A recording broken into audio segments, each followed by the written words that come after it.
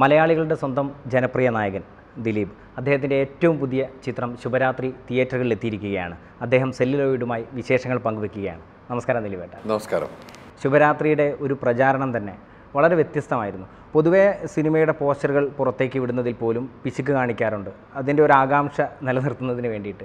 പക്ഷേ നേരെ മറിച്ച് ദിലീപേട്ടന്റെ ഈ സിനിമ തിയേറ്ററിലേക്ക് എത്തുന്ന സമയത്ത് ദിലീപേട്ടന്റെ തന്നെ എഫ് ബി പേജിലൂടെ അതിന്റെ കാര്യങ്ങളും കഥകളും എല്ലാം തന്നെ ഡയറക്റ്റായിട്ട് പറയുകയാണ്. എന്താണ് ശുഭരാത്രി? ശുഭരാത്രി എന്ന സിനിമ അതൊരു സത്യസന്ധമായിട്ടുള്ളൊരു കഥയാണ്. കഥയല്ല നടന്നൊരു സംഭവത്തിന് അതൊരു നമ്മുടെ മുമ്പിലുള്ളൊരു സംഭവം തന്നെയാണ്. അതിനെ ആസ്പദപ്പെടുത്തിയിട്ടാണ് ഈ കഥ വ്യാസൻ എഴുതിയിട്ടുള്ളത് സംവിധാനം ചെയ്തിട്ടുള്ളത്. കുറച്ച് നാൾ മുമ്പ് വ്യാസൻ ഇതിനെക്കുറിച്ച് സംസാരിക്കേണ്ട. അപ്പം ഞാനല്ല ഈ പടത്തിൽ അഭിനയിക്കുന്ന ഒരാൾ അയാൾ വ്യാസൻ എന്റെ ബാല്യകാല സുഹൃത്താണ്. അപ്പോൾ അദ്ദേഹം ഈ സിനിമയെക്കുറിച്ച് ഈ കഥയെക്കുറിച്ച് സംസാരിക്കുകയുണ്ടായി. അപ്പോൾ ഞാൻ ആരൊക്കെ ഇതിലാണ് അഭിനയിക്കണമെന്ന് ചോദിച്ചു. അപ്പോൾ പറഞ്ഞു നമ്മൾ ഞാനിങ്ങനെ മുഹമ്മദ് എന്ന് പറയുന്ന കഥാപാത്രത്തെ സിദ്ദിഖയോടാണ് സംസാരിച്ചത്. പിന്നെ മറ്റതിങ്ങനെ ഒന്നും തീരുമാനിച്ചിട്ടില്ല എന്നൊക്കെ പറഞ്ഞു. ആ ശരി. അങ്ങനെ പറഞ്ഞ് ഞാൻ വിട്ടു. പക്ഷെ കഥ ഇങ്ങനെ മനസ്സിൽ കിടക്കണ്ടായിരുന്നു. അതിനുശേഷമാണ് ഞാൻ വ്യാസ്ബായോട് ഈ അടുത്ത കാലത്ത് ചോദിക്കേണ്ടത് എന്തായി നിങ്ങളുടെ സിനിമ ഒന്നും ആയില്ലേ? നീങ്ങിയില്ലേ? എന്നൊക്കെ ചോദിച്ചു. അല്ല ഞാനത് വേറെ ഇങ്ങനെ ഒരാൾക്കാരെ എല്ലാവരുടെ ഡേറ്റും ഇതൊക്കെ പ്രശ്നങ്ങളിലാണ്.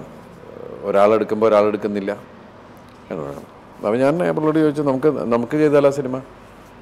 എന്ന് ചോദിച്ചപ്പോഴാണ് അദ്ദേഹം അത് നമ്മൾ ചെയ്തു കഴിഞ്ഞാൽ ജനങ്ങൾ ഒരുപാട് എക്സ്പെക്റ്റ് ചെയ്യും. അങ്ങനെ ഒരു മാസ് എന്റർടൈനർ വിചാരിക്കും. അങ്ങനൊരു തമാശപ്പടമല്ല പക്ഷേ ജീവിതത്തിലെ കൊച്ചു കൊച്ചു തമാശകൾ അതിനകത്തുണ്ട്. പക്ഷെ വളരെ സരസമായിട്ട് നമ്മളൊരു പ്ലസന്റ് ഇതോടുകൂടി ഇരുന്ന് കാണുന്ന ഒരു സിനിമ അല്ലെങ്കിൽ ചിലപ്പോൾ ചില സ്ഥലങ്ങളിൽ നമ്മൾ കണ്ണ് നനയും. കാരണം എല്ലാത്തരം വികാരങ്ങളും ഉള്ളൊരു സിനിമയാണത്. കാരണം പ്രണയിക്കാത്ത ആളുകൾ തൊണ്ണൂറ്റൊമ്പത് ശതമാനം പ്രണയിച്ചിട്ടുള്ള ആളുകളായിരിക്കും.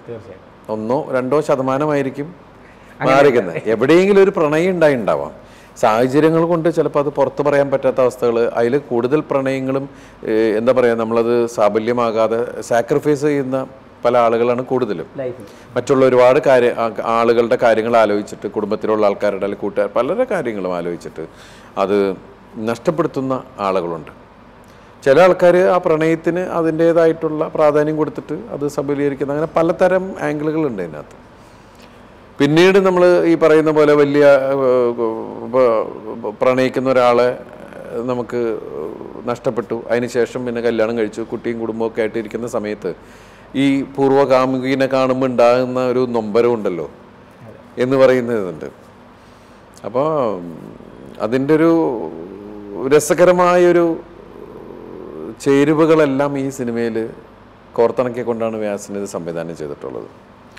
പിന്നെ അതുപോലെ തന്നെ നമ്മൾ ഈ ചെറുപ്പകാലത്ത് ഏത് സമയത്തും എന്ത് ചെയ്താലും അത് എല്ലാം നമ്മളിങ്ങനെ നമ്മുടെ പുറകെ തന്നെ വരുന്നുണ്ട് എന്ന് പറയുന്നൊരു സാധനമാണ്.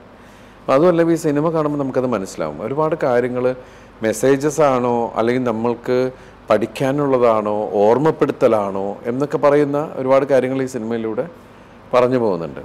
ടോട്ടാലിറ്റി നമ്മൾ കഥ കേൾക്കുമ്പോൾ തന്നെ നമുക്കിതൊരു നല്ല സിനിമയായിരിക്കും എന്ന് തോന്നുന്നൊരു ചിന്തയോടുകൂടി തന്നെയാണ് നമ്മൾ ഈ സിനിമയിലേക്ക് കാലെടുത്ത് വെക്കുന്നത്. ഇതിലെ യഥാർത്ഥ ജീവിതങ്ങളാണ് എന്ന് പറഞ്ഞു. ഇതിലെ യഥാർത്ഥ ജീവിതങ്ങളെ പരിചയപ്പെടുത്തുന്നുണ്ടോ അല്ലെങ്കിൽ പരിചയപ്പെട്ടിരുന്നോ ദിലീപേട്ടൻ? ഇല്ല പരിചയപ്പെടുത്തിയിട്ടുണ്ട്. ഇപ്പൊ ശരിക്കും പറഞ്ഞാൽ മുഹമ്മദ് സിദ്ദിഖ ചെയ്ത കഥാപാത്രം ശരിക്കും ജീവിച്ചിരുന്ന ഒരാളാണ്. ഞാൻ ചെയ്ത കഥാപാത്രം ജീവിച്ചുകൊണ്ടിരിക്കുന്ന ഒരാളാണ് എന്ന് പറയുന്ന ഒരു സംഭവമുണ്ട്. അപ്പോൾ ഇത് ഒരു നമ്മുടെ കൺമുമ്പിൽ കാണുന്ന അന്വേഷിച്ച് ചെന്നാൽ കാണുന്ന ആളുകൾ തന്നെയാണ്. ഈ ഭൂമിയിൽ തന്നെയുള്ള ആളുകളുടെ റിയലിസ്റ്റിക് ആയിട്ട് ഈ മനുഷ്യൻ മനുഷ്യനെ തിരിച്ചറിയുന്നു. അല്ലെങ്കിൽ പ്രപഞ്ച സൃഷ്ടാവായ ദൈവം ഏതൊക്കെ രൂപത്തിൽ എവിടെ എങ്ങനെ വരുന്നു എന്നൊക്കെ പറയുന്ന ഒരു ഫീലില്ലേ നമ്മളെല്ലാം മുന്നിലേക്ക് പോകുന്ന സർവശക്തനായ ദൈവത്തിന്റെ ഒരു കാരുണ്യം അല്ലെങ്കിൽ ഒരു ഔദാര്യം കൊണ്ടാണ് നമ്മൾ ഓരോ നിമിഷവും മുന്നിലേക്ക് പോയിക്കൊണ്ടിരിക്കുന്നത്. അപ്പോൾ അതെല്ലാം നമ്മൾ നമ്മുടെ അനുഭവങ്ങളിലൂടെ നമ്മളത് മനസ്സിലാക്കുകയാണ്. ഒരു കഥാപാത്രമാകാൻ വേണ്ടി വലിയ തരത്തിലുള്ള ത്യാഗങ്ങൾ ചെയ്യുന്ന ഒരു അഭിനേതാവാണ് നമ്മൾ നോക്കുന്ന സമയത്ത്. ഈ ഇതിലെ കഥാപാത്രമാകാൻ വേണ്ടി മാനറിസം എന്തെങ്കിലും അത്തരത്തിൽ എന്തെങ്കിലും റെഫറൻസ് ഉണ്ടായിരുന്നു? ഇല്ല ഇയാളെ കുറിച്ചിട്ടുള്ള കഥ കേൾക്കുമ്പോൾ ഇയാൾ എന്തായിരുന്നു? ഇയാളിപ്പോൾ എന്താണ്? ഇയാളിപ്പോൾ എങ്ങനെ മുന്നോട്ട് പോകുന്നു? ഇയാളുടെ ഇപ്പോഴത്തെ ഒരു അവസ്ഥ എന്താണ് എന്നുള്ളത് സംവിധായകനെ നിന്ന് മനസ്സിലാക്കിയും പിന്നെ നമ്മൾ അതിനെ ക്യാരക്ടറിനെ ഒന്ന് മോൾഡ് ചെയ്യാന്ന് പറയില്ലേ. പിന്നെ ഈ പറയുന്ന പോലെ ഈ സിനിമയ്ക്ക് കിട്ടിയ വലിയൊരു ഭാഗ്യം എന്ന് പറഞ്ഞാൽ ഒരുപാട് തിരക്കുള്ള താരങ്ങൾ ജോയിൻ ചെയ്തു. ഈ സിനിമയിൽ ഒന്ന് സഹകരിച്ചു. അത് അങ്ങോട്ടും ഇങ്ങോട്ടുള്ള സൗഹൃബന്ധമാവാം നമ്മളോടൊക്കെയുള്ള സ്നേഹമാവാം. എല്ലാ ആളുകളും വന്നിട്ട് ഒരു ചെറിയ സീനാണെങ്കിൽ പോലെ വലിയ താരങ്ങളാണ് ഈ സിനിമയിൽ അഭിനയിച്ചിട്ടുള്ളത്. അതൊക്കെ അപൂർവമായിട്ട് സംഭവിക്കുന്ന കാര്യങ്ങളാണ്. അപ്പോൾ അത് ഈ സിനിമയിലെ എല്ലാവരോടും ഈ സിനിമ ഒരു ഗംഭീര വിജയത്തിലേക്ക് മുന്നേറുമ്പോൾ നമുക്ക് ഇതിന്റെ ഓരോ ആളുകളോടും നന്ദിയും അതുപോലെ എല്ലാവർക്കും അവകാശപ്പെട്ട വിജയമാണിത്. കാരണം ഇല്ലെങ്കിൽ ഇത് കൊച്ചു സിനിമയിൽ പോവും. അതുകൊണ്ട് വളരെ മൂല്യമുള്ള താരങ്ങൾ അവരുടെ സമയം മാറ്റിവെച്ച് പല സിനിമകളുടെ ഇടയിൽ നിന്നാണ് ഒന്നും രണ്ടും മൂന്നും ദിവസമൊക്കെ തന്ന് അത് ഈ സിനിമയിൽ അഭിനയിച്ച് എത്ര രൂപ കിട്ടുന്ന ആലോചിച്ചിട്ടല്ല. ആ സിനിമയുടെ അപ്പോൾ അത് ചില സിനിമകൾക്ക് ഒത്തു കിട്ടുന്ന കാര്യങ്ങളാണ്. ഈ വളരെ ഗ്രാമീണ പശ്ചാത്തലത്തിലുള്ള ഒരു കുടുംബ ബന്ധങ്ങളുടെയൊക്കെ അതിന്റെ ട്രെയിലറും ടീസറും ഒക്കെ അങ്ങനെയായിരുന്നു. അതിനൊക്കെ വലിയ തരത്തിലുള്ള റീച്ചാണ് കിട്ടിയത്. അതെ ഇപ്പോൾ ഇതിൽ എന്താണെന്ന് വെച്ചിട്ടുണ്ടെങ്കിൽ ഇപ്പോൾ വളരെ സാധാരണക്കാരുടെ അല്ലെങ്കിൽ ഒരു പ്രായം ഇപ്പോൾ മുഹമ്മദ് എന്ന് പറയുന്ന ശരിക്കും പറഞ്ഞാൽ ഒരു അൻപത് വയസ്സിന് മേളിലുള്ള ആളുകളുടെ ഒരു എന്താ പറയണ നമ്മളൊരു ആ- ഭാഗത്തെ പ്രതികരിച്ചു വരുന്ന ഒരാളാണ്. നമ്മുടെ ക്യാരക്ടർ എന്ന് പറഞ്ഞാൽ ചെറുപ്പം തുടങ്ങിയിട്ട് നമ്മൾ ശരിക്കും പറഞ്ഞാൽ കൗമാരവും ഏഹ്, മറ്റേ യൗവനവും ഇതൊക്കെ ബാല്യവും ഇതൊക്കെ കഴിഞ്ഞിട്ട് ഏ വരുന്ന നമ്മളൊരു ജീവിതത്തിലേക്ക്. ജീവിതത്തിലേക്ക് കടക്കുന്നൊരു സമയമുണ്ടല്ലോ. നമ്മൾ പ്രണയിക്കുന്ന സമയം പിന്നെ ജീവിതത്തിലേക്ക് കടക്കുന്നു. ഈ ജീവിതത്തിൽ കിടക്കുമ്പോൾ പിന്നീട് എന്തൊക്കെയെന്ന് പറയുന്ന കാര്യങ്ങളുണ്ട്. ഇപ്പോൾ ചെറുപ്പകാലത്ത് ശരിക്കും പറഞ്ഞിട്ടുണ്ടെങ്കിൽ നമ്മൾ സ്കൂളിൽ പഠിക്കുന്ന കാലത്താണെങ്കിൽ അല്ലെ നമുക്കെപ്പോഴും അച്ഛനമ്മ നമുക്ക് കുറേ ഒരു പരിധി വരുമ്പോൾ നമുക്ക് ശല്യമായിട്ട് തോന്നും. പിന്നെ നമുക്ക് ആ- സമയത്ത് ശരിക്കും ഒരു കോളേജ് കോളേജിന്റെ അങ്ങോട്ട് പോണ ഒരു ജോലി പ്രവേശിക്കുന്ന കാലം വരെ നമുക്ക് ഏറ്റവും വലുത് കൂട്ടുകാരായിരിക്കും. അവർ പറയണതാണ് നമുക്ക് വേദവാക്യം. കാരണം അപ്പോൾ നമ്മൾ അച്ഛനും അമ്മേനെയും കൊ- ഒളിപ്പിച്ചിട്ടൊക്കെ മാറി കിടക്കും. പിന്നെ നമ്മൾ കല്യാണം കഴിഞ്ഞ് ഒരു കുഞ്ഞ് ജനിച്ച സമയം മുതലാണ് നമ്മൾ അച്ഛനമ്മനെ തിരിച്ചറിയണേ. നമ്മൾ ആ വേദന അനുഭവിക്കും നമ്മൾ ആ വേദന അനുഭവിക്കാൻ തുടങ്ങുമ്പോഴാണ്.